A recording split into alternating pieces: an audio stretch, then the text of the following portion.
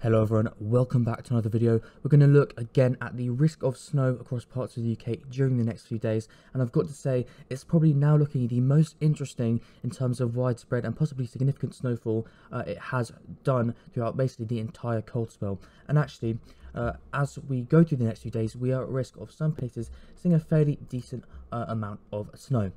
So just taking a quick look at the overall pattern, you can still see here we've got our kind of remnants of a northeasterly across the UK, continuing to bring in some snow showers across the east and also maintaining that cold snow conducive air over us, uh, as you can see highlighted by those kind of blue colours. And actually,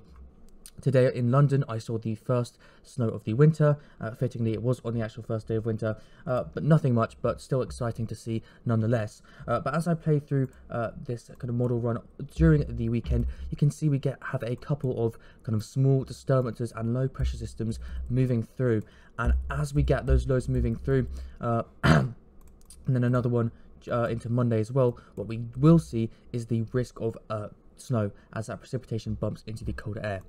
Looking kind of more specifically from uh, tonight into Sunday, this is a snow map I just posted on my Twitter about 10 minutes ago, uh, and it's kind of giving you an overview of what kind of areas are at risk. Uh, as a disclaimer, not everywhere within the shaded regions will see snow, and some places in the shaded regions will see more uh, or less than their forecasted by this key down here, but it gives you kind of a nice overall sense of currently which areas are expected to see the most snowfall. And you can see quite nicely, uh, we've got a fairly large region at risk, all the way from Wales into parts of the Midlands, through mo uh, most of northern England there, uh, and then into parts of Scotland, especially, especially southern southwestern Scotland, that's where we're going to see anything from zero centimeters of snow, so just falling snow, to perhaps a couple centimeters accumulation. And like I said, locally, some areas in here could see more. And then we've got three purple zones uh, where at various points during Saturday and Sunday, we could see longer, perhaps more organized spells of snow, possibly as much as two to six centimeters, uh, especially across southwest Scotland, parts of northwest England and southern Scotland, and parts of the Midlands and Wales. So looking a bit more specifically at those different risks now, we're going to use the uh, high resolution French model uh, and uh, this is I find kind of got a fairly good handle on the precipitation and therefore the snowfall risk. Uh, and you can see continued showers across the east coast uh, as we go into the evening. And then we'll have to watch for this very small uh, and quite disorganized low pressure system during the early hours of tomorrow this as it pushes northwest into parts of uh, northwest England and south of Scotland and then south of Scotland here. This will uh, perhaps organise into a longer spell of snow, perhaps bringing a few centimetres, uh, sorry, of accumulation um, as it uh, kind of moves into Saturday uh, afternoon there, with also the risk of snow across parts of Wales. Uh, and this event here,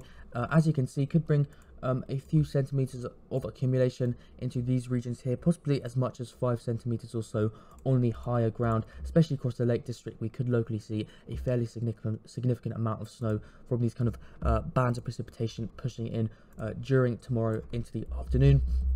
And then notice we get another weak low starting to organise just in the Irish Sea during Saturday evening. Now as this moves eastwards during the night we're likely to see a spell of perhaps more significant snow across the Midlands uh, and you can see there's going to be a fine line between rain and snowfall with the southern half of this band uh, towards southern England including London. Unfortunately you're going to see most likely to be rain at this stage and then areas further north so the Midlands into northern England looking likely to be at least uh, kind of falling wet snow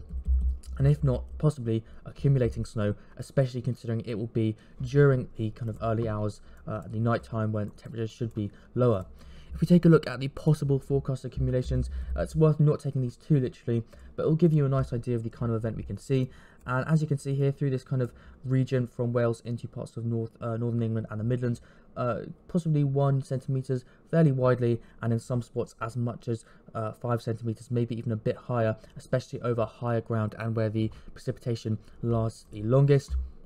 Just for some kind of cross-model agreement, taking a look at the European model, you can see uh, the European model shows the kind of initial snow threat uh, during this evening and into uh, tomorrow morning across parts of uh, southwest Scotland and northwest England, with continued snow showers into the evening of those regions. Uh, and then we get our band of precipitation pushing east into parts of the Midlands and northern England. Maybe a bit of sleet for the south, but it's not looking too promising. Uh, and this scenario would bring, uh, if it did occur, fairly widespread accumulations, though the ECMWF model always overdoes uh, these kind of numbers, so I'll bring that down kind of by around kind of two or three centimeters uh, in this forecast. But still, don't take these too literally because these will change. But you can kind of start to pick out the general pattern um,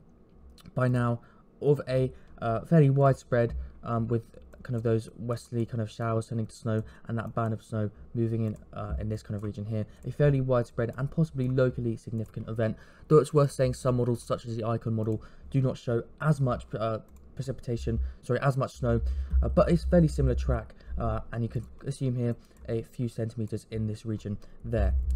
So that's the kind of Saturday Sunday risk um, out of the way. There's slightly more uncertainty uh, for this event but as we see a low pressure pushed in from the south during Sunday night and into Monday, we could see another snow risk developing north, along the northern edge of that, particularly across northern England and uh, Midlands and Wales. Uh, is currently modelled to be most at risk. However, I do have a slight concern. It could be not much snow, more of a wintry mix. Uh, the Arpege model here shows a snow risk, but mainly just to high ground of Wales there, potentially adding on a couple of centimetres to the, the accumulation. The GFS uh, shows a uh, more significant event, uh, likely because it's dragging in slightly cold air and allowing a spell of snow for a few hours across the Midlands and North Wales, which would probably give as much as 5 centimetres or so. Now this is quite an uncertain event here, the Dalmatian plot from the European model illustrates that quite nicely. All of the different dots are showing the different possible locations of the low pressure uh, on uh, uh, Monday lunchtime, and as you can see, we have a very wide range of where the low could be. So while there are some models showing a snow risk for Monday, uh, it's too early to say with any confidence um, if places will see snow and if it will be significant. But if you are in the zone of North Mid, uh, kind of the Midlands, Northern England, and uh, Wales, especially in higher ground, do keep an eye on the forecast as the snow risk could increase. But that's about it, everyone. Thank you so much for watching and have a great day.